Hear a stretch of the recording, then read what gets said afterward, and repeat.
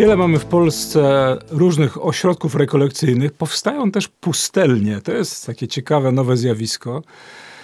I w tych pustelniach e, spotkasz ludzi, którzy są z bardzo różnych światów. E, ludzi świeckich, żonatych, mężatych, młodych, starszych, w średnim wieku.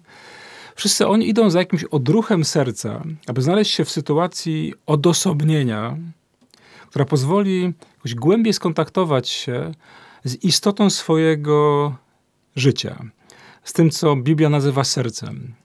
I dzisiaj w Ewangelii widzimy ten odruch Jezusa, aby znaleźć się sam na sam z Ojcem, aby jakoś odłączyć się na chwilę, po to, żeby z, tego, z tej odnalezionej na nowo głębi powrócić do relacji.